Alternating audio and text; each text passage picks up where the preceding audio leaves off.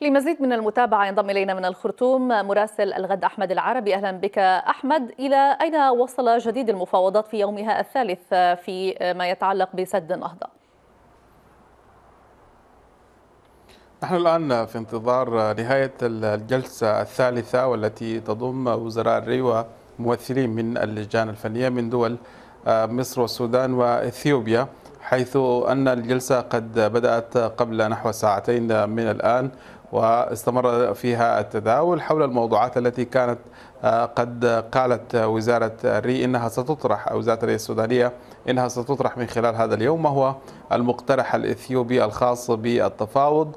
ربما هذه الجلسة ستحسم موضوع إذا كانت هذه المفاوضات ستحرز تقدما أم لا خصوصا مع تمسك الأطراف بمواقفها المختلفة.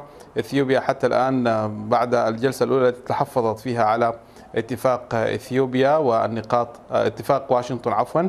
إثيوبيا قالت إنها ستدفع بمقترح ربما هذا المقترح يأتي مجافيا أو ضد الرغبات الجانبين سواء كان في السودان ومصر. وهذا يعتبر مؤشر لأن المفاوضات ربما لن تمضي بعيدا. لكن عموما ننتظر نهاية الجلسة وأهم ما يرد فيها بعد هذه المداولات بين الأطراف المختلفة بالإضافة أيضا إلى تحديد بشكل دقيق دور المراقبين في هذه المفاوضات الذين تم اختيارهم من جنوب إفريقيا والولايات المتحدة الأمريكية.